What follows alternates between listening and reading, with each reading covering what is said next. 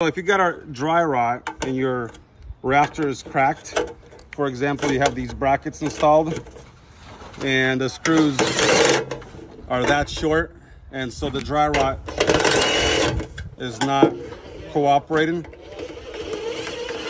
Take the screw out. Get a seven inch screw like, like so. Get it in here. It's kind of hard to do with one hand, but when the gutter's up in the air, it's super easy.